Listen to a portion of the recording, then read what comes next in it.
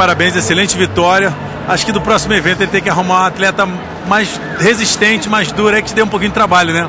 Pois é, é um trabalho muito duro, foram dois meses de treino, né? A equipe FFT é uma equipe muito dura, muito técnica, muito profissional. Meus professores são professores excelentes. Então eu vim aqui atrás da minha vitória e foi ela que eu conquistei. Tá certo. Parabéns pela vitória. Valeu, obrigado.